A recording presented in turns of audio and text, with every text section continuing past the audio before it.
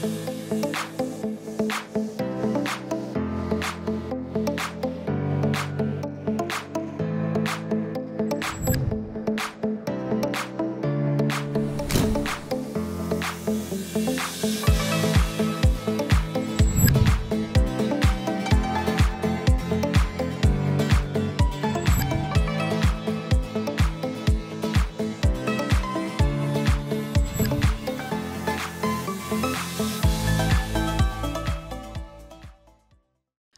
afternoon. It is my pleasure to welcome you to FSD Kenya's seventh annual lecture. Now, if these were normal times, we would have just shared a cup of chai, had some bitings, and talked about what was happening around Kenya and around the world. But these are not normal times. This is our second virtual lecture, and we're coming to you live from FSD Kenya's office today. You know, the reason FSD Kenya started this annual lecture series is really to raise the discourse around the importance of inclusive finance. What role can finance play in making it better for people so that low income households can get access to the financial solutions they need to manage day to day, deal with risks, and importantly, invest in the future? How can finance help micro, small, and medium enterprises really deliver on the their dreams to grow and to employ more and more people in Kenya. You know, as, as we face COVID right now, there are so many challenges facing Kenya besides COVID. Climate change is top of mind with COP26 coming soon. And what role can finance play in helping the everyone, helping the economy be more green and have a greener economy and a, and a better future? Well, I am joined today by a fantastic lecturer, Bitange Ndemo, and uh, four uh, panelists, including our moderator, um, Anzetse. But I'll, I'll leave all the introductions and, and all of that to my colleagues. Um, but what I wanted to do is really introduce our lecturer. Now, if you've been with us in the past, you know that we've invited Kenyans, we've invited non-Kenyans, we've had men, women, economists, all kinds of different people. But like I said, the reason we have this annual lecture is to raise the discourse. And so we hope that today makes you think. Maybe you don't agree with everything that's said. Maybe you really agree with it. Feel free to use the hashtag FSD lecture to share your ideas, share your thoughts, share your questions, and be part of this digital conversation. As I said, we wish we were in person. We wish the 915 of you who registered were here and we could talk with you. But that is the power of digital. We can talk with you through this medium. And so it, it's no substitute for being in person, but we hope that you get a lot out of today. I met the, this afternoon's lecturer for the first time in 2012 when he was still the permanent secretary at uh, the Ministry of ICT in Kenya. It was a government meeting with all protocols observed, and yet I was so impressed by this man who I had just met, who was ready to get things done he really wanted to change things. We were talking about digitizing government payments and the power of digital and those payments and what that can do to deliver better services, reduce corruption, and other many benefits to digital government payments, government digital payments. And we've had the opportunity to interact many times since then on panels and discussions. And in the last year, as we've been dealing with COVID, our team and he have discussed what does it look like? What's the power of digital? But who's being left behind? Who might be excluded in this digitalization of the economy? And so it is my extreme pleasure, and I should say he really needs no introduction. As I said, he was the PS Ministry of ICT. He's currently a professor at the University of Nairobi. We hope some of his students have joined us tonight. Um, and um, I think without any further ado, I would ask the panelists to join me in welcoming uh, Bitange Ndemo to deliver our seventh annual lecture. Thank you. Thank you. Thanks again, Tamara, for a wonderful introduction. And uh, Deputy uh, Commissioner and Director of Development at the British High Commission, um, Julius, Tamara, uh, my friend here, Anne Mutahi, and um, Njiru, who is uh, a director for Food for Education. Ladies and gentlemen, I'm greatly honored to join you this afternoon uh, to present the seventh FSD Kenya annual lecture, which is on inclusive finance. The title of my presentation is Digitalizing Emerging Models of Economic, Emerging Economic Models uh, for Development and the Role of FinTechs. In my view, after three industrial revolutions, Africa has yet to meet the world as an equal power. We, we now have the opportunity to integrate emerging fourth industrial revolution technologies into the heart of Africa, and in doing so, also potentially heal the um, potentially heal past digressions that we've had. At the dawn of the first uh, industrial revolution, Africa was dealing with slavery. Towards the end of 19th century, and as the second industrial revolution was starting, the continent was in the thick of colonialism. When the third industrial revolution emerged in the mid 1920, mid 20th century, uh, Africa was at war with the colonial governments. Then the Cold War uh, started uh, to further digress the, the continent from the path of development. In the early 21st century, we witnessed intense investments in the information and communications technologies in Africa. These investments gave rise to innovation in especially fintechs. The prevalence of fintechs has been pronounced to such an extent, extent that the International Monetary Fund noted um, in one of its documents that sub-Saharan Africa has become the global leader in mobile money transfers, transfer services, spurring widespread access to financial services. As the world wakes up to the fourth industrial revolution, uh, there is no doubt that Africa could take advantage of growing of the growing number of talent that it has, increasing urbanization, continued development uh, in the infrastructure, and regulatory regimes that are actually uh, enabling innovation. Enabling innovation. Africa is at the verge of, uh, of the tipping point, and this would help it to join the global place. We must, however, lead Africa onto the world stage together by anchoring these innovative technologies uh, to support a solid path of economic development and sustainability. We first acknowledge the fact that from slavery to colonialism and the Cold War, Africa's resources developed much of the world.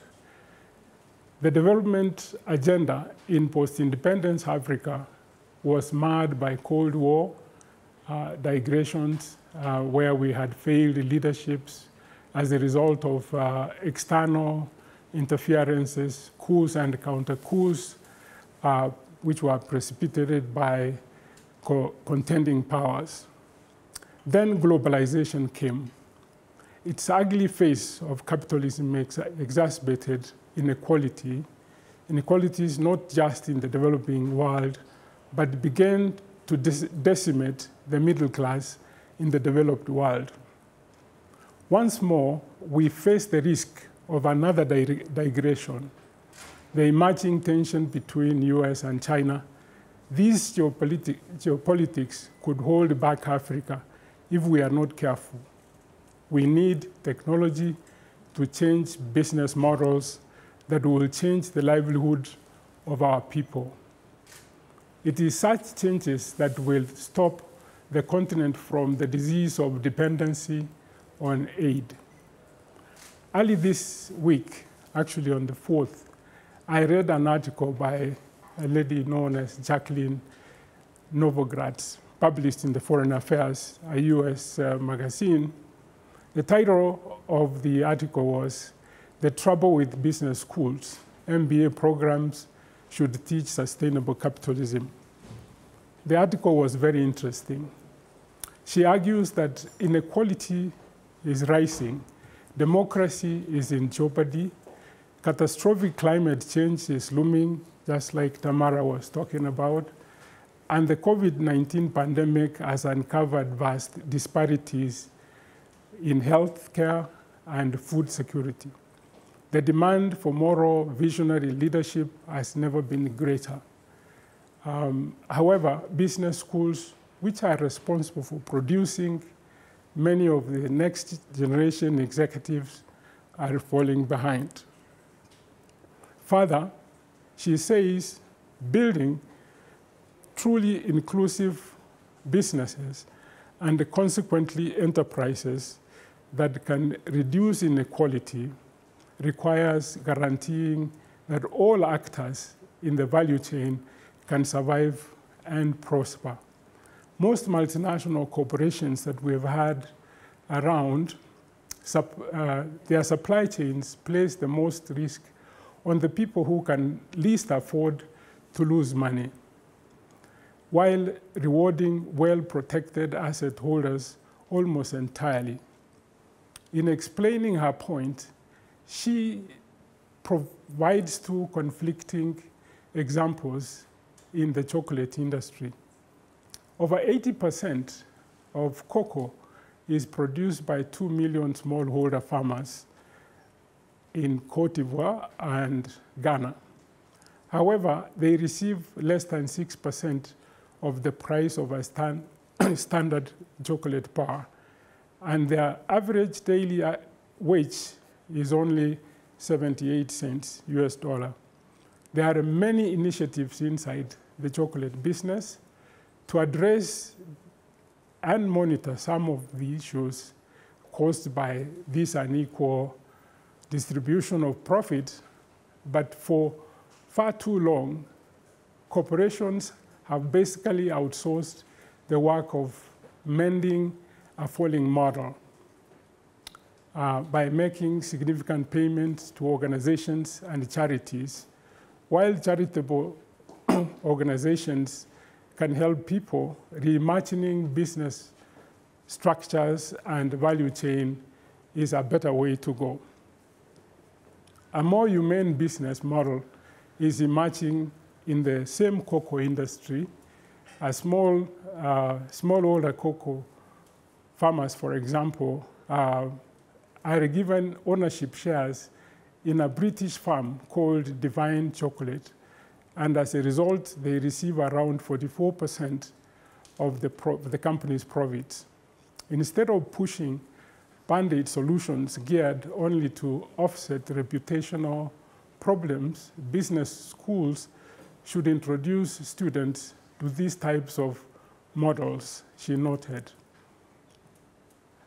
Novogratz, um, in her article, presents the problems that have faced Africa, and not only provides the solution now, but also for our future endeavors as the world moves into the fourth industrial revolution. In the past few decades, in the first few de decades, the mantra in Africa to was to industrialize if we have to create the employment for the burgeoning population. This thinking arose from Arthur Lewis's model. Uh, this is a 1954 model, economic model for development in which he explains the growth of a, a developing economy in terms of labor transitions between two sectors, that from the capitalist sector and the subsistence sector. Lewis, however, did not take into consideration the importance of technology and its effects on his model. But the current shift of workers from lower to higher productivity employment is fueled by digitalization. So the thrust of my argument, uh, therefore, is that digitalization and the fourth industrial revolution technologies will form the backbone of Africa's economic transformation. I would dig deeper on digitalization and begin to show uh, to show what it can do to our economies. The Gartner reports define digitalization as the use of digital technologies to change business models. And this is what I was referring to, the changing business models which are changing livelihoods of people in several places. They provide new and value producing opportunities, and it's a process of moving uh, to a digital business. This is what I was referring to when I was talking about Novogratz. Um, so if I can quickly go into the fourth industrial revolution and go through it quickly, during the first industrial revolution, mechanization, I said Africa was steeped in, the, in slavery at the time. The second came, Africa was being colonized at the time. The third, we were trying, Africa was trying to fight colonialism. So the fourth industrial revolution is one which we can say that Africa is sort of settled, understands what is happening around them, and they could begin to do something. What you need to understand in this space are the technologies that will define the fourth industrial revolution. These are just a, naming a few big data, blockchain, AI, Internet of Things, machine learning. Uh, these are some of the key technologies that define um, the fourth industrial revolution. If you look at Africa today, these technologies are in use when we talk about inclusive financial, uh, the fintechs, um, inclusive financial services, you cannot talk about that without big data, without the use of artificial intelligence. This is what has led to credit scores and the giving loans which are non-collateralized, and indeed in bringing more people into the financial sector. So the fourth industrial revolution is very very critical to Africa that we can now begin either forget the past and begin to look forward and exploit the future. My argument is that we are in a better position to exploit this fourth industrial revolution than any other continent in the world. So these technologies, people may ask what is happening. You would see later the talent is increasing in Africa and their efforts to create much larger or more young people into learning these areas. Personally, I'm involved in discussing with universities across the world to be able to begin uh, to train young people in this space. But one thing I must say is that unlike in the past, when we relied mostly on governments to initiate like what training is going to be there in the coming days, um, individuals are taking their own responsibility and beginning to look at what is it going to happen such that we can do it. Even though our universities could be behind in this space, we have the private sector which has moved in that direction, several corporations which are moving into that space and developing the capacities that would help the continent to tip and become one of the most competitive uh, elements in the world. So we have what I call the Great Reset. This is COVID. COVID-19 has forced the world to reset and accelerate to, to live differently. Uh, for example, when COVID began, it didn't take most African universities to switch to remote teaching. So the way we learn is changing, the way we work is changing, the way we socialize, the way we shop, the way we worship has changed, and even collaborations with other parts of the world is changing. And so I would call this the moment, the watershed moment for digital transformation in Africa. Um, that we can look at businesses, create new businesses, and create new revenue models. Um, then the rules of success have changed and are ever more reliant on harnessing the power of digital models to create uh, new value and experiences. What has happened uh, over the past, since 1990s, when internet came first. Usually, this curve, we use it to explain um, how adoption of innovation happens in any community. You have very few people at the beginning playing with it. Then you have early adopters, then early majority, then late majority. When internet came in the 1990s, not many of us understood how to commercialize it. What happened is that the Americans understood what it was. They developed the search engines, the web browsers, and actually became big. Uh, they created big businesses. The next wave of technology was mobility. It came around 2000. Again, here, not Europe, not Africa, not Asia, understood except China, which said something is, is, would come out of this. And this is how you see mobile platforms came. Uh, you see um, social media platforms came leveraging mobility. And they created a lot of money, both America and China. But the rest of the world didn't take advantage of this. They did not take advantage.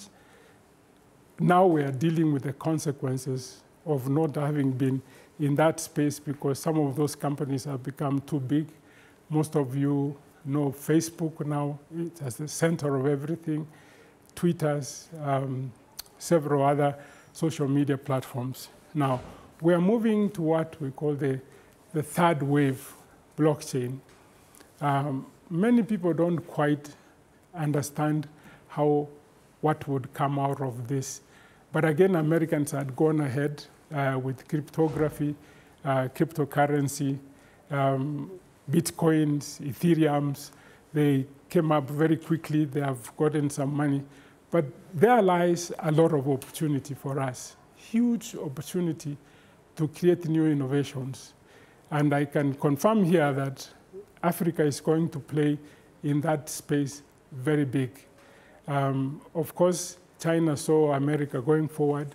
They moved one step higher. They now have their central bank digital currency, which has shaken the entire world. And you're beginning to see from Europe to America now rushing to create a, a CBDC. Uh, the good thing is that Africa, especially in Kenya here, we have been using digital currency. That our president, when COVID struck, said we shouldn't use cash, we should use the digital platforms. We would get into that space very quickly. But you are going to see a lot more innovations. Already we have small companies that have been created, especially in streamlining of the supply chains.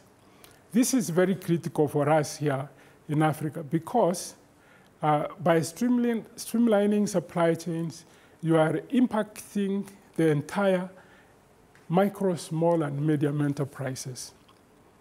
And the elusive industrialization of Africa would come out of this space because once you begin to streamline the supply chain, especially in the agricultural sector, you get forced to find what to do with some of the surpluses, which would mean that manufacturing or value addition would come naturally because we have, we're trying to streamline the supply chain. There are more other opportunities which you are going to see, some of the startups I see coming up. So the disruption solutions would be many from the blockchain, from other parts of the world, not just America and China, as it happened during internet and mobility period. So what is changing? Africa is wired. Africa has sufficient uh, capacity. I remember um, in 2007 with my minister Mutahi Kagwe, um, the entire Africa had one cable on the west coast, which was so expensive. To call the US, it used to be $12. Europe, it was be $8. All exchange points, the telephone exchange points, were either in London, Paris, or Portugal, depending on which country colonized Africa. And that made it very expensive for Africa to use telecommunications. And the first thing we did was that we must lower this cost by linking Africa to the rest of the world through the undersea. And in this, all multilateral agencies were saying, uh, why would you invest in the undersea, which would give you terabytes when you are only using 0.3 of a terabyte? And we said there is latent demand. Nobody would understand. And so we actually broke from the arrangements that we had, which were supported, again, uh, through aid money. We decided that we would invest on our own. We approached some companies to invest from um, the US, Europe. They couldn't invest because there was no market. Uh, but soon after we landed the cable, every company wanted to be in Africa because the uptake was so fast, we created the market.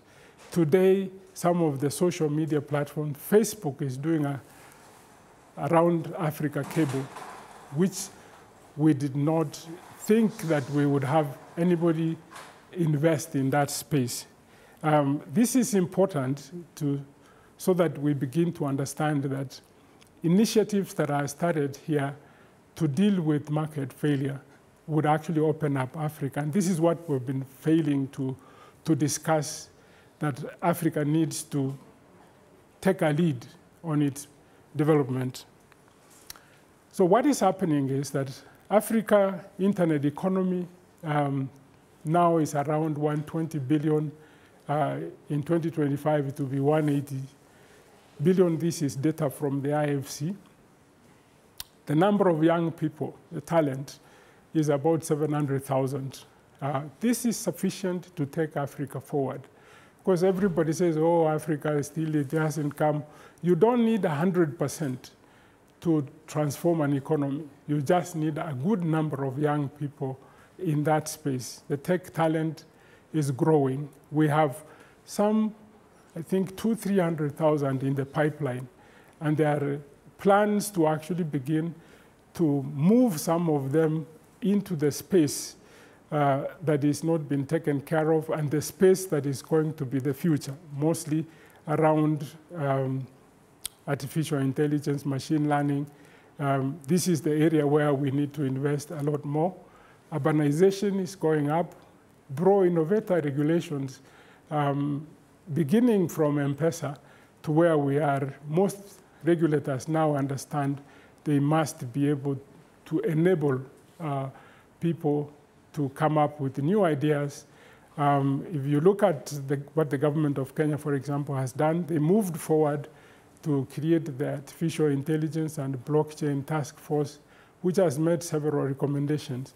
Those recommendations will deal with so many of the problems that Africa has around corruption. There will, there will be much more transparency. But look at the infrastructure development. Even though only 40% of the Africans have connectivity, uh, some countries have 80, 90%, but for every 10% increase um, in this, uh, in the number of people with connectivity, you raise the GDP by 2.5%, which is higher than any other part of the world. So Africa would intensify infrastructure development, especially in the ICT sector. They see it necessary now from COVID, by, from what COVID has created. If you look at the entire globe, Africa is growing faster than any other part of the world. Latin America is at 1.7, uh, EU is 1.7, um, Africa is growing at 4%. Some of the fastest growing countries in the world are in Africa. This is why I say that Africa is getting to a tipping point, a point at which we would begin to see Africa moving faster and playing its role in the global economy. If you look at uh, what I've said, you can actually begin to measure. Um, I happen to be working with the World Data Lab. um, where we work through the incomes and demographics. Um, this time machine would actually tell you what would happen. Africa would have the most number of people in the future who can be deployed to work in the space of IT simply because the average African is 19 compared to the rest of the world where in some cases the average person age is around 50. This is what gives Africa the opportunity to play a bigger role in the emerging, in this emerging technology. Around innovation, if you look at investment, venture investment, venture capital investment in Africa, it reached all-time high in 2019. Then COVID came, went down to about 900. But if you look at the numbers now, 2021, it's already gone past 1.5 billion in terms of venture capital investment in Africa. This is positive message. This is where the youth that I'm saying, who uh, everybody looks at and says, if I had that many youth, I could be able to do much better. So um, Africa, continental free trade area, uh, the potential market of 2.6 trillion. Um, you are going to see the 1.3 African billion Africans taking advantage on this. As I speak more about fintechs, fintechs have opened up the borders fintechs um, are playing a major role. They're driving Africa into Africa trade, and I have I've begun to use African currencies. This is something new, unlike the past, where we had to buy the dollar or the euro in order to trade between Kenya and Tanzania or Uganda. So they are enabling greater financial inclusivity, impacting especially micro, small, and medium enterprises, which create most of Africa's employment, and they give opportunities. You read, for example, Ecobank's FinTech Challenge Fellowship that is helping fintechs to, to scale in Africa. We've never had an African initiative to begin to scale up such, but we are now beginning to see banks getting into that space. They are driving innovation and agility that today is responsible for Africa's improved productivity. Productivity has improved virtually in every sector, from health, to education, to financial services, it's improving. Then mitigating information friction in financial supply chains through leveraging AI, blockchain, and creating greater efficiency. This is what I had said earlier, that through AI, we are able to provide new loans that were never there with the, with the bigger banks that we, we still have. So fintechs are at the center of the new economy. What is happening is that intra-Africa trade is going to succeed much faster than we ever thought. Because if you see um, Flutterwave in Nigeria is opened up not just Anglophone countries, but into the Francophone countries. Then you are beginning to see employment opportunities. Almost 6 million jobs would be created out of um, Africa's integration because we are now able to do cross-border trade without looking for other productivity improvement throughout Africa. Then we, have, we can leverage AI to actually reach those who have never been reached before. Um, I would say in most countries, especially um, the big four, as they call them, Kenya, Nigeria, Ghana, and Egypt, which have adopted some of, of these solutions, are doing very well. But what is happening is that the neighboring countries are actually uh, also saying we can succeed, and they're beginning to get into that space. If you look at Tanzania, for example, it was late coming into the mobile money, but just because their neighbor had done it, they said we must succeed. It's the fastest growing now with respect to use of mobile money. And this is good. It would have that same effect to Zambia, Zimbabwe, to South Africa.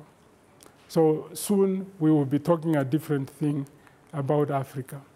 So what I need us to take away is that digital consumption growth is fueled by fast-growing urban and mobile population. Internet infrastructure investments are further boosting connectivity. We're beginning to see people talk about 5G.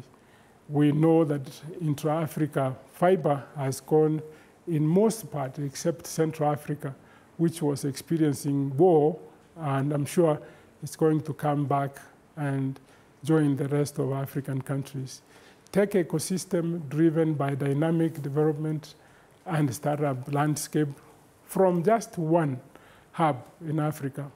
Uh, now we have almost 700 hubs, thousands of young people coming up with new innovations. And this is what we want to see.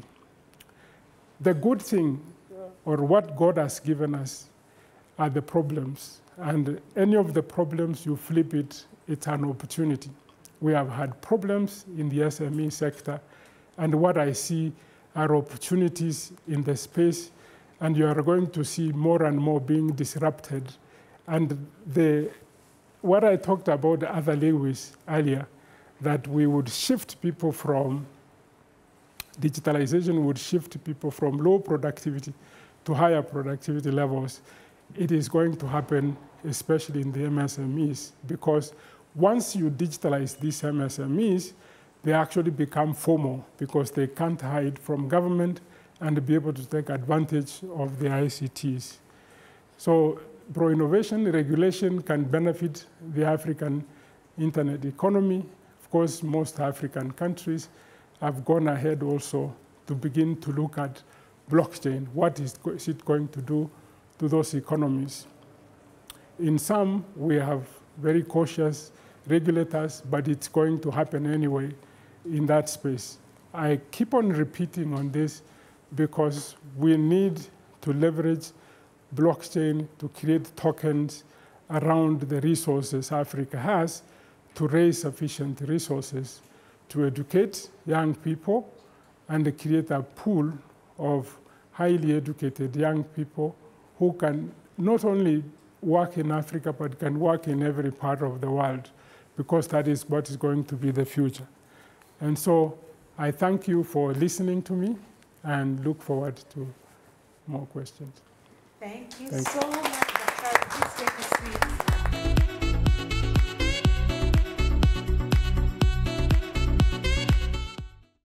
Welcome back, and you've probably been seeing some videos of the different activities we've been doing with micro, small, and medium enterprises, a lot of whom have been leveraging the great insights that Dr. Ndemo has really been detailing in his talk, and he's really given us such wonderful food for thought for this panel. And so I'll just introduce by sharing who's on the panel. Of course, we have Dr. Ndemo himself, so welcome to the panel. But beside me, we have Anne Mutahi. Um, she's the senior um, SME advisor to the, to the president, um, and she's a reputable, reputable SME specialist, has a wealth of experience in the SME sector and financial services sector. She's particularly passionate about women and equipping them with financial tools and non-financial solutions to help them leverage their assets, and also has extensive experience in governance, having served on several NSE-listed companies, and she's also the past chair of the board of the Standard Chartered Bank. She's an alumni of the University of Cape Town. Um, welcome, Anne. Thank you. Thank um, we also now have Julius Court. Um, Julius is born and raised in Kenya.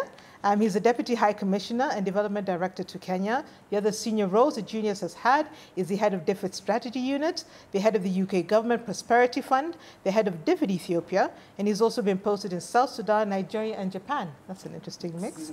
And prior to joining the civil service, he worked with the UN and the Overseas Development Institute. Welcome, Julius. And finally, we have Wawira. Um, is the founder of Food for Education, and in 2016, she was selected as one of the 25 young Africans leading in public life by the University of Cape Town. In 2016, she was one of the 16 participants of the Global Social Benefit Institute Accelerator Program. She was also, she's also Stanford School alumni, um, the youngest recipient of the University of South Australia's Alumni Reward. Um, she's also a Rainer Arnhold Fellow and recipient of the Builders Africa Award in 2018. Welcome, Wawira. Thank you. So I think I'll just go ahead and start with you, Anne. You know, in addition to sort of giving us the key points that you've taken away from what Dr. Ndemo was talking about in his lecture, um, I think I really want you to talk about over the past year and a half, as Ndemo mentioned, we've really seen COVID-19 ravage yes. um, the Kenyan economy and particularly impact low-income Kenyans. You sort of sit as you sort of the senior advisor to SME development, looking at the ways Kenyans actually earn a living. So maybe you can unpack for us um, what are the key impacts you've seen, particularly on the micro and small businesses? And what has your office been doing to sort of address that um, and help Kenyans sort of come back uh, to dignified living? Thank you very much, Andetse, for that question. And warm greetings to all the virtual listeners on this FSD um, um, lecture. I also want to just uh, um, uh, um, note that FSD has continued to raise a discussion um, around um, not only fintechs, but what can actually be done in the SME, MSME sector. Um, thank you very much, Dr. Ndemo. I think there were very key points, as you said, um, that do impact um, uh, what can be done within not just the SMEs, but indeed the economy. And what he said is that it was a great reset, which had problems, challenges for a lot of the MSMEs.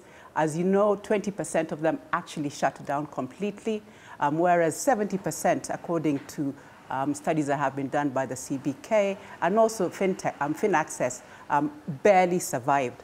And why is this? We all know that right across the world, there was a huge fall in demand, which meant that uh, there was slower customer footfall. There was also greater business costs because of the fact that, um, you know, the whole supply chain became extremely expensive. And um, when you look at what it is that um, we were able to do as government and as private sector, because I believe it had to be a collaborative effort, what you find is that um, government was able to work through its different partners in trying to bring down a lot of the costs. CBK, as you know, brought down mobile um, for, uh, co costs in terms of transfers. You had the uh, relaxation of a lot of the taxes. There was a lot of encouragement to ensure that financial providers gave more space to a lot of the um, MSMEs in terms of payment. Uh, what we also saw was that um, there was a lot more procurement that was now um, engineered, or should I say focused, toward the MSME sector partly because, of course, the borders were closed. So it gave us a moment to look internally and begin to see actually what we do have. And as Dr. Ndemo said, um, and I think it's a, it's a truism, that the fact that um, we had a problem actually brought on um, a different change in terms of looking at the opportunities. One of the opportunities I think that we did see uh, very clearly is that um, we were able to um, appreciate that there was a lot more uh, should I call, aspirational and small businesses within the MSME ecosystem.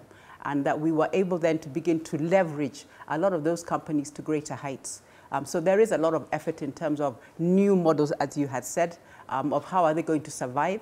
You've seen a lot of MSMEs um, reorganize themselves, and I really want to uh, commend, I think, um, entrepreneurs right across the, the divide of both formal and informal for their resilience and their innovation in terms of trying to um, come back. I think as we look at um, how do we actually um, come back better, um, this is a great moment in time to be able to um, you know, use some of the uh, digital um, opportunities that are there. as we said, we have every single advantage. Uh, most of those MSMEs are under the age of 35. Uh, most of them are digitally connected in one way or the other. Um, probably there's a need for uh, more improved handsets to be, to, to be able to make communication better. But what you have actually seen even now is that within the private sector, there's also been great strides in making sure that MSMEs are not what they were before. When you look at what Safaricom is doing right now in terms of beginning to distinguish enterprises from um, um, individual trading, that is actually a great door that has opened um, you know, for us in terms of moving forward with being able to access a lot of the assets that are there. What you're also finding is a lot of training and, um, should I say, business support services are now available, you know, digitally. That, um, again, is, I think, a great beginning into what can happen when we go forward with that. Well, that means that um, not only can you connect and be able to network, um, you know, digitally, um, but also that, um, as you're saying, a lot of the costs that um, have been in business will actually come down. So I agree that it's a, time for relooking at the models of business.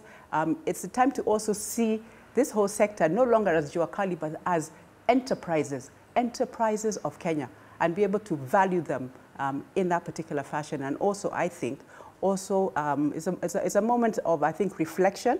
And it, it requires, I think, all the different players right across the divide of both private sector and uh, public sector to come together and begin to see and ask themselves, you know, how are we going to reimagine a different entrepreneurial uh, society? Thank you. Yeah. Thank you. Thank you. And in fact, Julius, just on the sort of the global impact that COVID has had, you obviously have a, an eye on countries outside of Kenya. So maybe you can just give us your insights on what have you seen as the key impacts on the Kenyan economy and the Kenyan um, uh, people uh, from a COVID perspective. So uh, thank you very much. Another uh, great question. And uh, I want to thank uh, Professor Ndemo for really an absolutely brilliant lecture. And what I took away from it is you had this, this broad historical sweep, but what was particularly golden is you gave us that look into the future. And, and the future is very clear. It's digital. And uh, it's really important that all of us um, understand that and that we, we have that mindset that the future, wherever we are, uh, is going to be a digital future, whether you're, you're a young person hustling uh, here in Nairobi, uh, whether you're running a small firm, whether it's a bigger firm, uh, whether you're in government, that, that's exactly what's, uh, what's going to happen.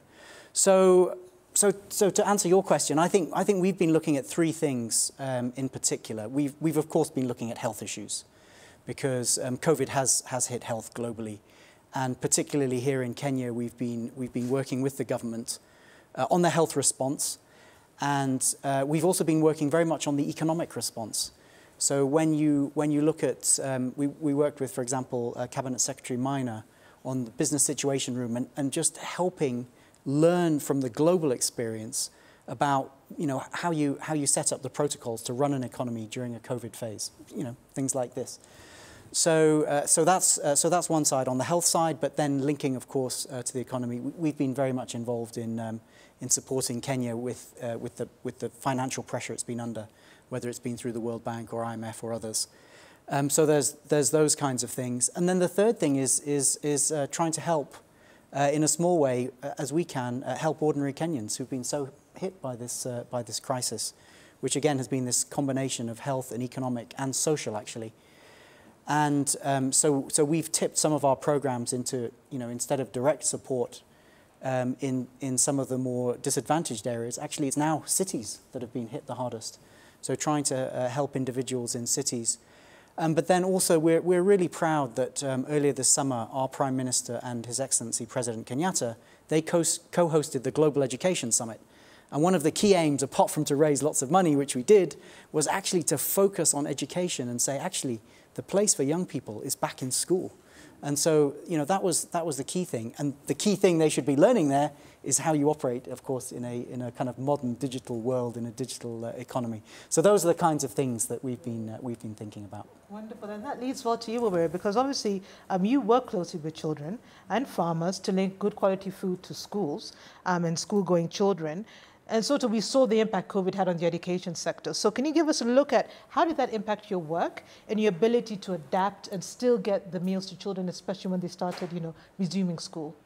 Yes, so um, first of all, obviously to thank uh, Professor Ndemo for his wonderful lecture.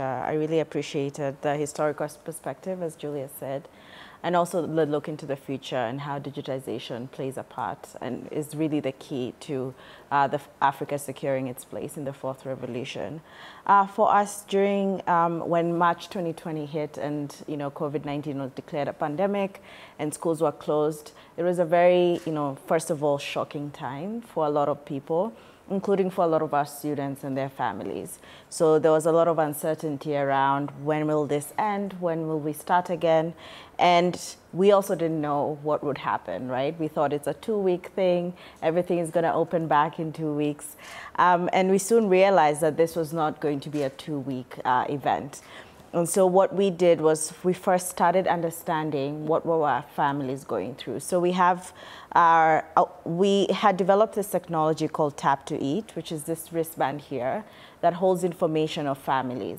And what we do is uh, initially pre-COVID-19, parents would top up 15 shillings for each meal that we deliver to their children. And they will use M-Pesa, mobile money, to be able to top up to an e-wallet account. And the children would wear this to school and validate uh, during lunchtime and get their lunch. So we had their information, we had data that enabled us to say, okay, what if we reach out to all these parents and find out what is happening. So how is COVID-19 impacting their lives? So we reached out to you know parents through SMS, through call, through our call center, asking questions of you know have you lost income? How much income have you lost? Or um, are you still in Nairobi? That's also a question of have you moved because there was a lockdown. And we found that yes, majority of our parents were still in Nairobi but around 60 to 80% had lost income. And that income was quite significant. It was over 60% of their income had been lost drastically overnight. Because if you're talking about parents in public primary schools, most of them are casual laborers. So if companies are deciding they're going to cut numbers, they're the first to go. Uh, most of them have small businesses. If everyone is staying at home, they're the ones who are not getting income. Uh, most of them are doing jobs of going to wash people's homes, people's homes, people's clothes. And if everyone is staying at home, no one's going to need someone to come and wash their clothes. And so they'd lost significantly, you know, all their income. And so we thought, how do we respond to this? And we moved from, a, so initially, which is still happening now that schools are back, our logistics model works that we source food centrally. So we source from smallholder farmers. We have a, you know, not so sophisticated sourcing platform.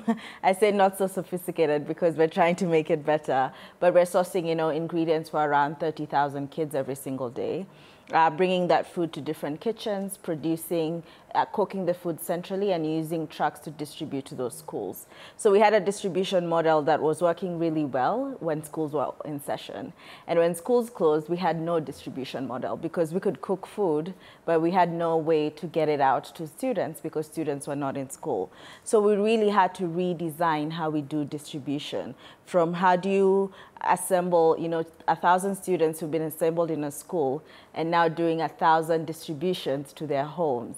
So we designed a model where instead of doing hot food, which we deliver daily, we started delivering dry food to families. And we couldn't only give the one child who's registered on tap to eat. We had to feed the entire family because all the kids from who are in boarding school are now home. The parents are also home. And we had to think, what is a package that you can give a family and how can you do this distribution for, we're talking thousands of families in ways that is safe, in ways that doesn't create chaos.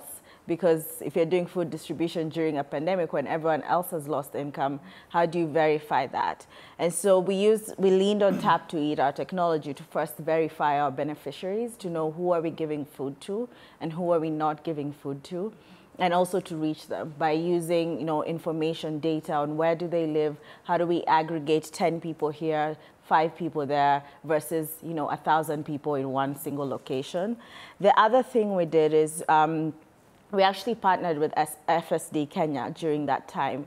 Uh, there was a, uh, an initiative called Shikilia where we had data of payments, so how parents had been paying pre-COVID, and we could assess there is a level of vulnerability here. For example, a parent who pays an average of 20 shillings versus a parent who pays an average of 100 shillings. There's a very big difference in terms of how these payments are happening. So it means this parent has 100 shillings and another one doesn't have, can only get 20 shillings. And so we said, can we assess vulnerability through payment data? And we were able to di disburse cash transfers for, first of all, parents who could not access the food packages who'd been locked outside Nairobi, but also parents who are the most vulnerable using payment data. And we ran a cash transfer of 3,000 shillings for three months, and it was transformational. You know, the parents really, really appreciated, and it held on. It exactly did that, shikilia them during that time. Thank you. That's really inspiring and sort of linking payments to very remote regions, and that's why I want to talk to you, um, Dr. Ndemo. You know, you talked about the role of fintech, and we, I really want to look at what is what are you seeing as the emerging links between Africa and Asia? Often that connection is not one people make in fintech, but we know it's there, we know it's deep and it's burgeoning. So maybe you can give us insights on what have you seen in the trends in the fintech space linking Africa and Asia, especially since COVID started? Thank you for that question, uh, which I didn't have enough time to elaborate. Um, there is actually very close links between Asia and, uh, and Africa with respect to uh, fintechs. Um, if you look at uh, the, for example, the entry of Ant into Africa, I think they started from South Africa. And they, they want to, because of what has happened in, in China, I think they want to, to develop the international market. And that is good because they, they are at a very, very, very advanced level with AI and other technologies, which we need to um, allow our young people to, uh, to get to work in that space and get the experience. There are also um, younger people who I know go through Nigeria. There is something we call Big Four in, with respect to these innovations. And this Big Four is South Africa, Kenya, Ghana, Nigeria, Egypt. So if you go to the hubs in those spaces, you actually find Asian, young Asians also trying to crack through the African market. They are looking almost into the same space that we've been looking. Everybody sees the problems we have in SMEs, uh, and they, they want to crack it and be able to provide finances, streamline those supply chains. These are the areas we are finding them. Uh, they're also looking forward, and this is now big, where you're finding Japan, for example, uh, is trying to get into the token space. They're trying to look at what we did, uh, for example, in the report, recommendation of sandboxes, especially at the CMA. They want to be among the first ones to come and create tokens out of the African assets. Uh, this is something like the Western world has not begun to think about, uh, but the Asian subcontinent is looking at it when are the regulators allowing this space so that we can get into this space. They are also collaborating with younger people here uh, to see, to make sure that the model is not exclusive, meaning that it doesn't have the local people in it. Yeah, this is what uh, this is what I'm seeing in the space. Yes. I, yeah. I don't think I knew any of that before you just said that. So thank you so much for that. And as you know, Ndemo's been talking about this push for digitalization, which you mentioned that COVID has done, and you gave some examples of that. What digital solutions have you seen working for MSMEs, and what are some of the concerns you're seeing in this push towards digitalization for for, for micro and small enterprises? Mm -hmm. uh, thank you for that question, and that's. Uh, um, I think we've talked, um, you know, quite extensively about, um, you know, how digitalization helped in terms of the supply chain. In other words, you weren't able to get your goods from a particular place, therefore you were able to aggregate them with someone by use of digital and maybe then um, give them to your customers, you know, again by, you know, using pictures, etc. However, what we also found is that um, a lot of um, MSMEs complained that um, they didn't have the cash that they required to be able to survive or to be able to um, actually come back. And um, we had to ask ourselves why when you looked at the fact that there was actually a lot of funds available. And what you'd find there is that um, um the, the, the, the, where the funds were was a formal structure, but a lot of these MSMEs were informal, and therefore they were not able to connect.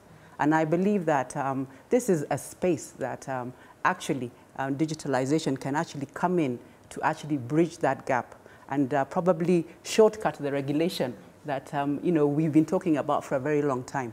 And as I said earlier, um, the fact that now you can actually identify um, businesses and enterprises digitally, in other words, give them a digital registration, a di digital name, and then be able to use their data, and you said big data, in terms of getting some of their um, information, some of their history, and present that to financiers. I think that's a very important part that we need to, we can actually do.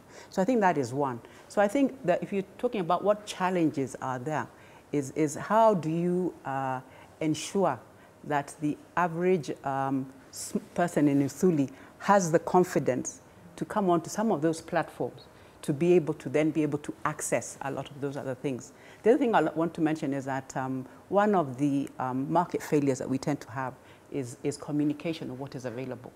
For instance, um, the government recently put up cold storages in Laikipia, in Nyandarua, um, but you find that um, by the time a farmer is able to connect with that particular cold storage or be able to get the information um, that they can actually do that, it becomes a problem. So I think, again, um, the use of digital means may be used in terms of trying to bridge that gap in terms of communication. Um, so I think there's a lot of different ways. I think the last one, since I have an educationalist here, mm -hmm. is that, um, you know, we're a very young nation. And what you find is um, a lot of um, the inflows into the MSME sectors are young people who are not able to find jobs. They're um, qualified, they've you know, done diplomas, so they go into the MSME sector. Um, it would be great if some of that information that they require can be given just as a leaving school you know, so, you know, the, the, the kind of, um, you know, a, a digitalization that's now happening in universities or even in, in schools is important so that they know that some of their options are X. And that would actually sort of um, uh, narrow the gap in terms of lack of, of communication. Yeah. Thank okay. Thank you. It's actually the oh, trust, the, the, the, trust issue, and mm. this is the one that uh, some which want to come out and keep on going back. Um, and and uh, especially government didn't quite understand it by the introduction of the of the new tax. Um, that shocked them and moved them into moving forward into into that space. What government should have done is that um, they would have used a carrot to get them into the digital space, and then later on can tax uh, so that, that really shakes them because they, they want to remain under the radar, under the radar yeah. but at the same time they cannot remain there yeah. and be able to get money if exactly. they can supply the data yeah. and be able to, to get them to be understood by the financiers. Yeah, and I'm glad you said that because that links to the question I was going to ask you is that because of this divide, particularly between formal and informal, mm. um, this impetus to stay under the radar so that you're not getting hypertaxed.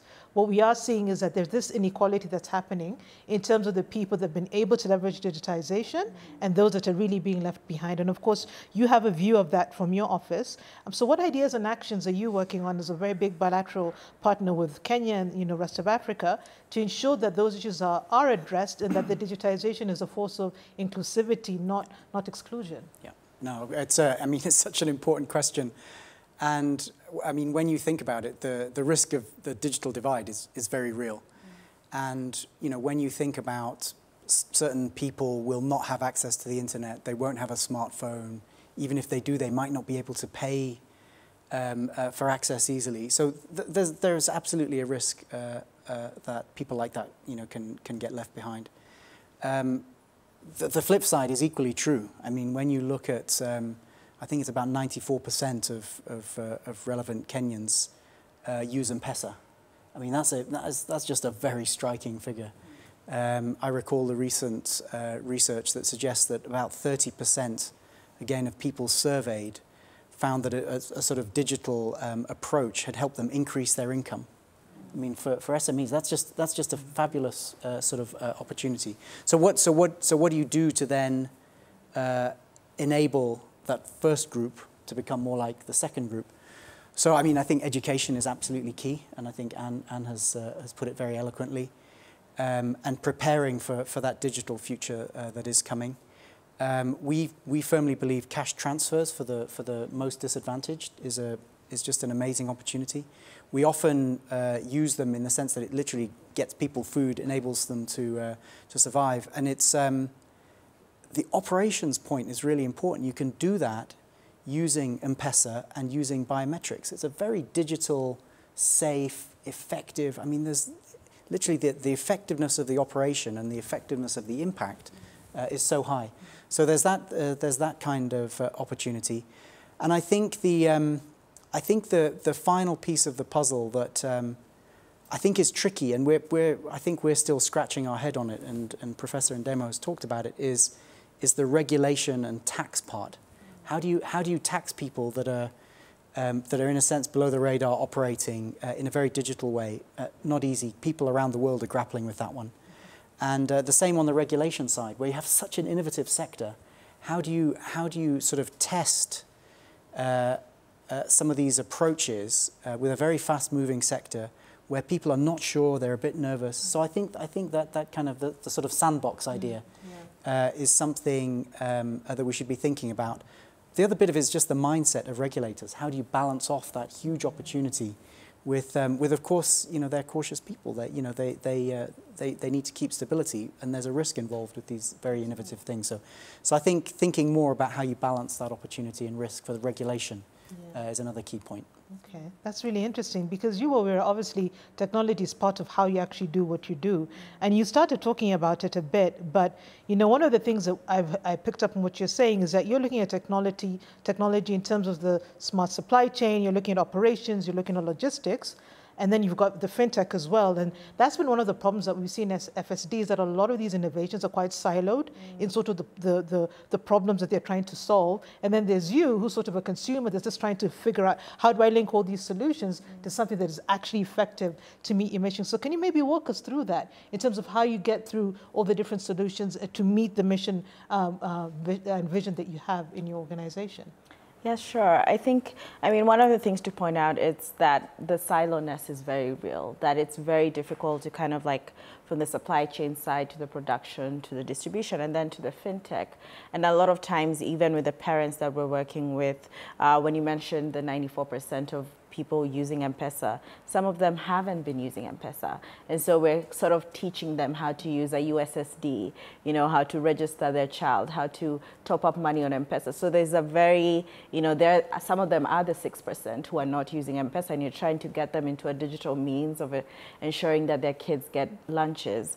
And so uh, from our, you know, thinking about our sourcing, one of the things that we're doing is thinking of our operations from you know food coming in, ingredients being farmed actually, to being uh, coming into our kitchens, and then to cooking, to distribution, which using trucks, and then to the child getting the lunch. So instead of siloing that this technology is for this and this technology is for that, we're thinking how do we apply technology to ensure efficiency? Because our key driver when you're in a fast-moving uh, food business is cost. So you're thinking, how do I lower my cost? Because parents are giving 15 shillings, uh, the meal costs us more than 15 shillings. It costs us uh, a bit more than that. And we're thinking, how do we make sure that we're coming as close as possible to that 15 shillings. And the key driver is technology. So when we're sourcing, we have a way for our, our, sourcing partners to reach us and to give prices. And then when we're thinking about kitchen operations, we have dashboards that control kitchen operations. So we're estimating that yesterday we cooked for 30,000 kids. Uh, today's closing day, we're going to cook for 28,000. We're not going to cook the same amount of food. We have to have a dashboard that tells us put in 500 kilos of maize, put in 1,000 kilos of beans. And that is a way that we're using technology to be able to lower our wastage, to be able to give us efficiencies. Uh, we now have a wastage of less than 3% across all our kitchens. And it's mostly through using technology, through predicting. This is the number of children that we're going to feed on Monday versus Tuesday. Because, at you know, when we started, we were cooking the same number of meals every single day. And technology has come and and our wastage was close to 10%. Mm. And now our wastage has really gone down because of using technology to predict how many meals we're going to produce, and then also using Tap to Eat to tell us that these are the payments, this is how you prompt parents. Mm -hmm. So also knowing when is the time to send a message to remind a parent to top up. Uh, it's not 11 o'clock when they're at work. It's probably 5 a.m. when they wake up and they're getting ready to go to work. So that also is using technology to prompt a parent, to prompt families to say, oh, your child is going to school today and they need to have lunch. And also from that, parents are getting real-time reports of their child. My child went to school. Believe it or not, in a public school system, it's very hard to know if your child actually went to school because you left home at five, they left home after you, and then you meet in the evening. How do you know if they actually went to school that day? But through Tap to Eat, a parent can dial a USSD and see, did my child eat today? So that is a very easy way that we're using technology to create that accountability and efficiency and to use different forms of technology to ensure that our operations run smoothly. Wonderful. That's really interesting. And she's bringing up that human element, which is what I want you to talk about. And I'll So you mentioned it in your, in your speech, sort of the elephant in the room, that Africa's got this massive opportunity in the digital economy, but at the same time, that is a space of great power competition. So in your view, how have you seen that great power competition affect African players? And what have been some of the ways you've been seeing African players navigate that very real tension in an opportunity that's right there for us? Yeah, um, actually we wasted a lot of, uh, many years um, during the Cold War, and we took positions which were not helpful. We couldn't make our own decisions as to what we want to do. And uh, because of the Cold War, we got the Mobutus, we got all kinds of things. Um, it would be completely unfair that we get into that space again um, to, to say uh, we want to take positions with China or with the US. I think playing like the UN does, that uh, multilateralism works, that your friends, you can have your friends and I respect you for that, would be the best thing for us going forward. Because, um, as I said, uh, the infrastructure you saw by yourself, the whole of Africa, um, especially terrestrial fiber, uh, was actually funded by China. Uh, in as much as uh, the West says, well, there is corruption, um, the, we can also say the same. Uh, the donor money we got, which I said sadly that we need to stop uh, receiving um, donations because they make us dependent and not seek solutions. Um, much of it, even up to last week, the report from the Vodafone uh, stated that uh, much of it goes back to the Western world through consultancies. Actually, it's only 30% we got, um, which means that uh, we need to make our own decisions and see where we are getting the benefits from.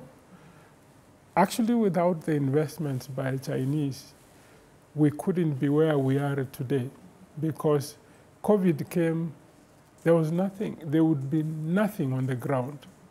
Um, I remember when we built the cable and they said uh, um, that we needed, uh, we needed to get some help it was only $100 million. And uh, my minister, Mutahi Kagwe, said, why can't we raise the money locally, a PPP? And we started to raise the money. When we were getting the money, it's when the multilateral agencies came in and said, oh, you, this is going to be a white elephant. And we said we would move forward with it. Went to the Middle East, got a partner in Etisalat, and the local investors came in. We laid the cable, which proved that there is market. And that's when everybody came to invest in those cables. So if we had taken the advice that uh, our big brother doesn't think Africans can use broadband, we would actually be where we were a few years ago. So some things we must take risk and move forward um, and be respected with the decisions that we've made on the choices that we make. Thank you. Thank you for that. And we're going to start going through closing comments, but I do have the last question for you, Anne, which is, you know, you, you work in a space where there are so many players trying to work with micro, small, and medium enterprises.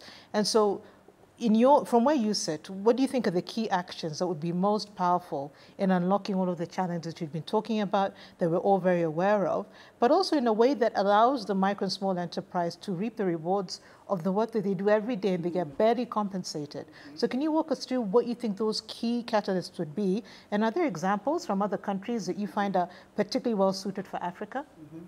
Oh, thank you. Thank you for that um, very broad question. um, and just to say that um, it is true that um, there's been a lot of work that has been done, uh, both by the private sector and by government in terms of initiatives, in terms of programs, in terms of funds across the whole MS, you know, for the MSME sector. But I think what we do lack is um, a collaborative um, framework to actually bring it together.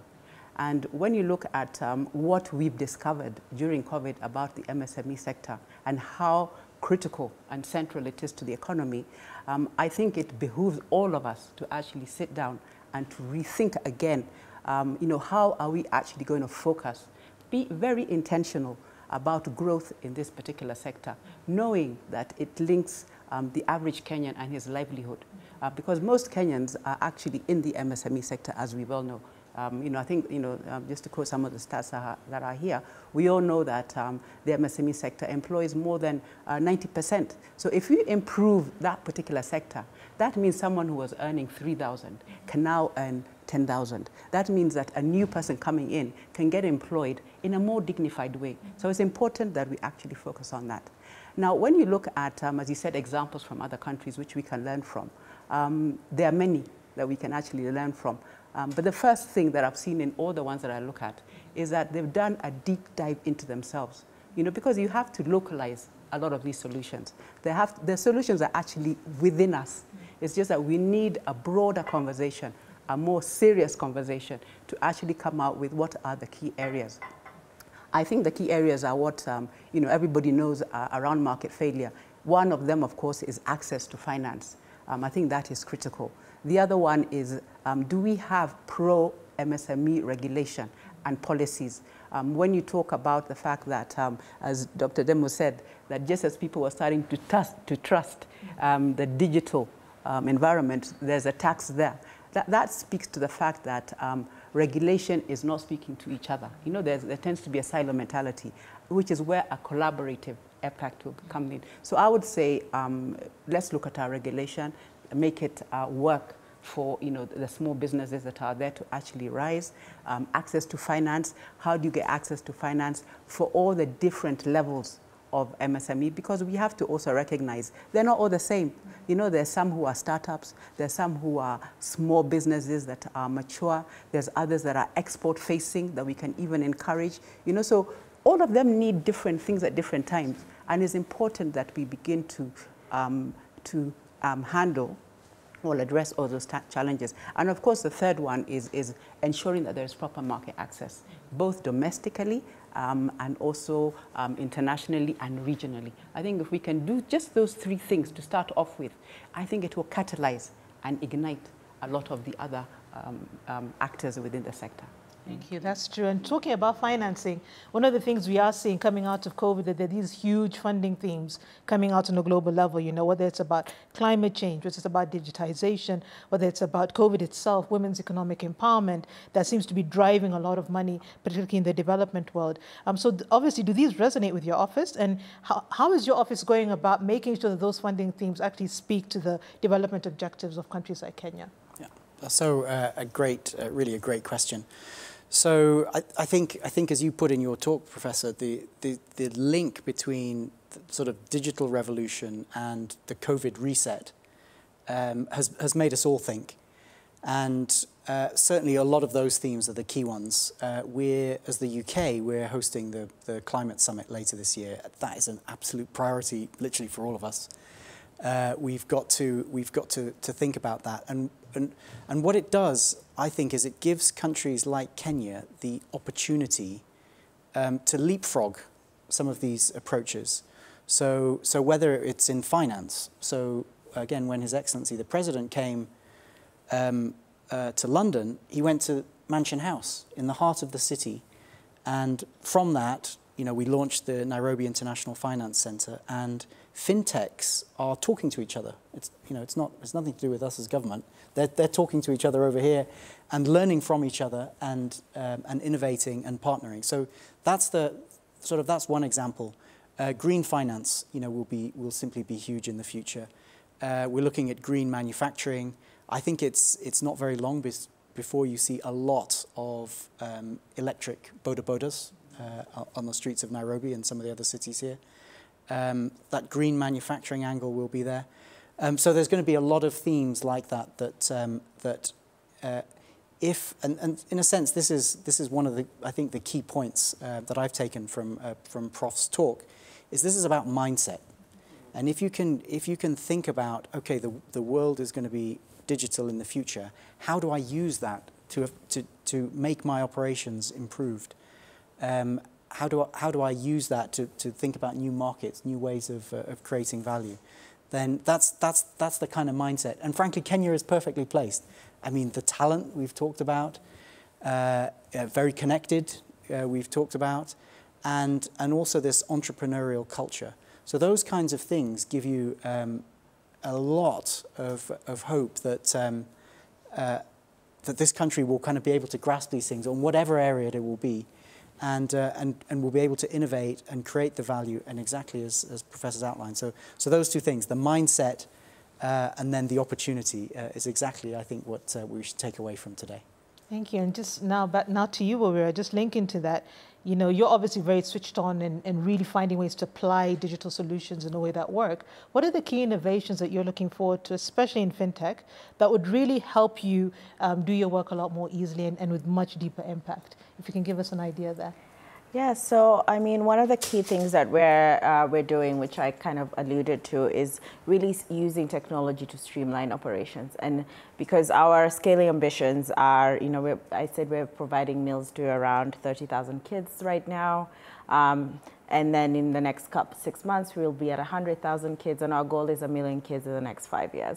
So thinking, how do we build, first of all, robust technology that is accessible across the board? So accessibility is a key thing for us in terms of how do we make sure that a mama mboga who has never interacted with M-Pesa before is able to dial on their phone, who doesn't have a smartphone, was a feature phone where the buttons are sort of scrapped off and they can read and easily register their child and be able to, um, to have access. So one of the things we're introducing right now, which we're in testing phase, is agents. So can we take technology to where parents live. So when you're buying sugar, can you register for Tap to Eat?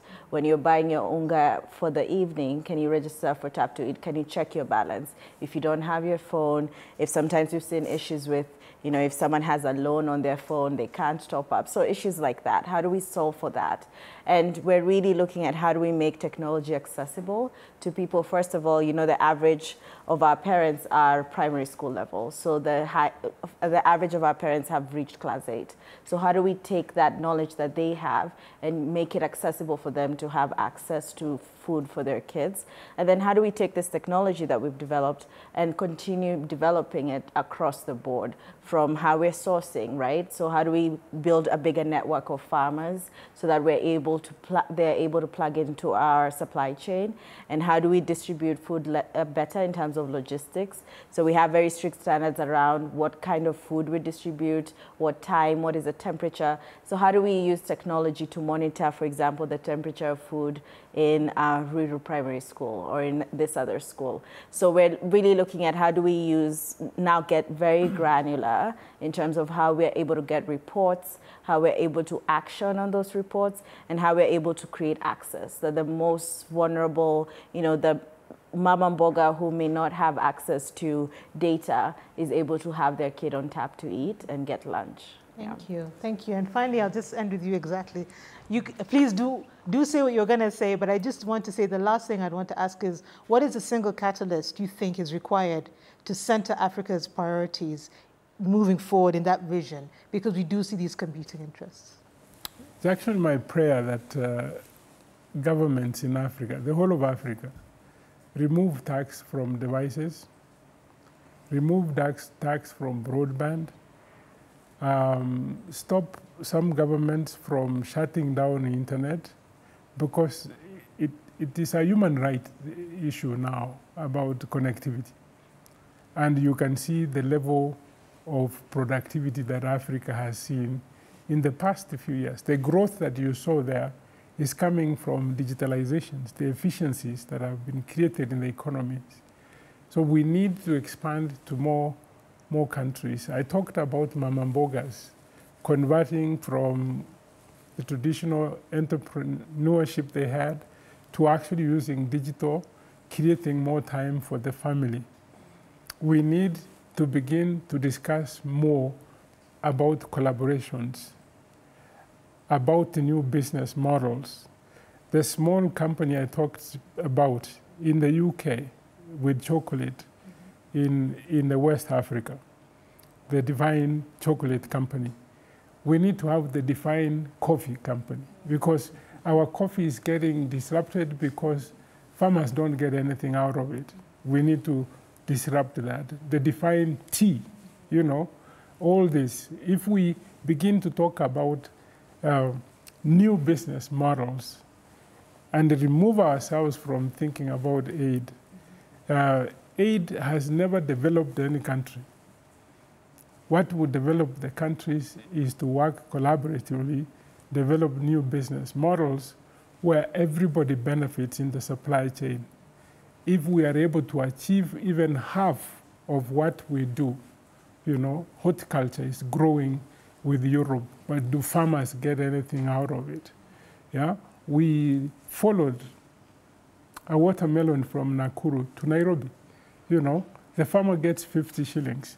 Then there are seven middlemen in between. So by the time you buy it in Nairobi, you are paying 400 shillings. The farmer got 50 shillings. Why can't we streamline that so that they get it? Luckily, we're having like um, Twiga Foods disrupting that market, giving more value to the farmer. Uh, they get their worth, and you begin to see farming becoming attractive uh, to younger people. This is what we need to do. We need to fit it around business models, which revenue models we have out of this. And we transform Africa. And as I said, inadvertently, we would get into manufacturing. Thank you. Yeah. And with that, I think we'll have to bring the panel to a close. I really do want to thank you all panelists for giving us such wonderful insights and wonderful things to talk about. And thank you, Dr. Ndemo, for your really insightful talk that will give us food for thought. So to make the cl closing comments, I'd like to welcome our Senior Innovation Specialist, uh, Mike Ombaka. He's going to come forward. A lot of the innovations um, that um, Ndemo's mentioned, um, he actually drives a lot of them, uh, particularly in the agricultural sector. So Mike Ombaka, please do come and make those closing comments. Welcome. Thank you very much, uh, Nzetse, for leading that session. Yeah, and uh, thank you very much, uh, Professor Bitange Ndemo, for giving us a very insightful lecture and a very good uh, point uh, to ponder, both uh, as people in the industry, development industry, as well as the people in the government, as well as the entrepreneurs we have, and even the upcoming uh, people. And I'm very sure also it will be shaping even the labor markets that we do have as they look through and, uh, and see the opportunities that are presented uh, by the digital evolution that we have. So I would not like to repeat what has been said. Yeah, I cannot uh, repeat all the great things that have been said in the lecture, but I would want maybe to just uh, say in a parting shot my thoughts that um, as uh, he has uh, said that uh, the fourth industrial revolution is around or it's already happening, and the digital revolution present a big opportunity. And many speakers have said it's about um, how people take the opportunity or it may bypass us, especially in Africa where we have the right ingredients to take this on. So I think uh, it's a big opportunity and a big challenge for all the players to see how to take this opportunity because we have to develop it as much as the opportunity presents itself. So thank you very much to our panelists and uh, Mutahi. Yeah, thanks for honoring us, Julius Court and Wawira Njiru. Very insightful comments and uh, infusing it with uh, some of the work that you do on your day-to-day -day work. Yeah, and we are very honored to, to have worked with uh, all of you in various ways and uh, in driving various innovations in the in the country. Thank you very much. And Nzetse, thanks for doing a great work in moderating and uh, bringing out questions that have enabled them to respond very well. And um, to everyone uh, else who has made this possible, especially our audience that are, have stayed with us, especially when we are in digital challenges. Yeah, so in the era of the digital we got into digital challenges. We apologize for that.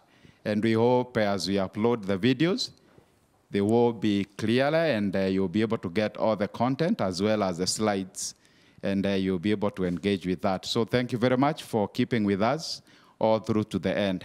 And uh, to the media crew, thank you very much for being here with us and spending quite some time uh, preparing for this. Thank you very much. And the FSD team, yeah, for the various roles and the efforts that you've put in into seeing these uh, to have worked. Thanks a lot. And last and not least, to our partners who we've learned a lot and we've observed a lot in this uh, space of innovations. Thanks a lot. And least, I think we have uh, a lot of innovators in the country that I cannot go and mention. Yeah, some that are startups, some that are, yeah, some that have scaled up, and some that are the government that is doing a lot in the area of regulation, the development partners that are doing a lot to help facilitate uh, these in the private sector, as well as even uh, the think tanks and uh, the universities that are bringing up the talent and nurturing that. Thanks a lot and uh, have a lovely evening.